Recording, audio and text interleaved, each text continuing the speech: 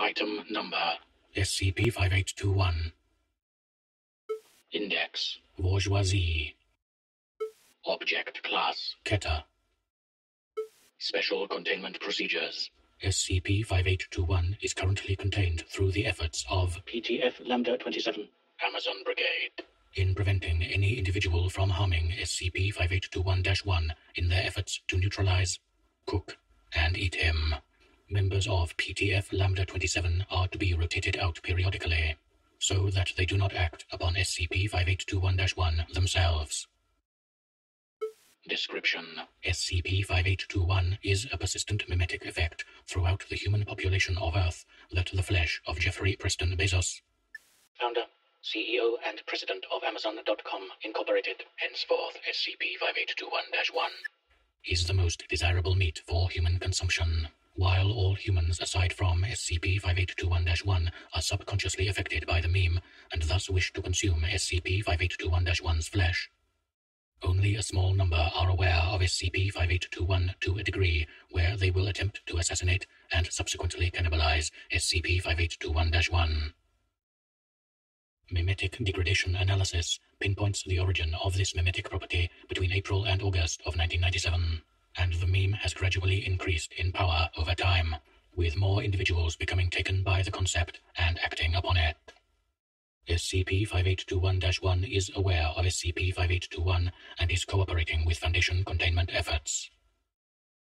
Addendum 5821-1 Memo Re Amazon Dissolution regarding recent proposals for SCP-5821 containment. Date 2009-10-25 to SCP-5821 Research Staff.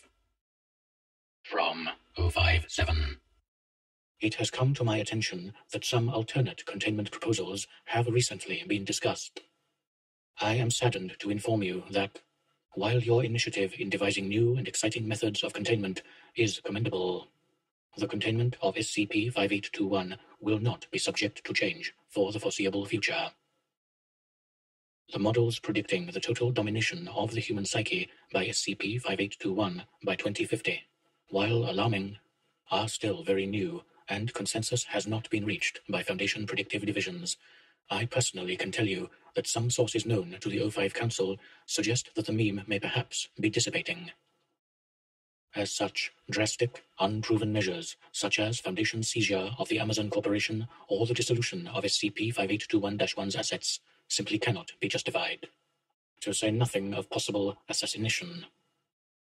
To address a specific point of contention some of you brought up, while letting the subject of an anomaly weigh in on the methods and intricacies of its containment may be unorthodox.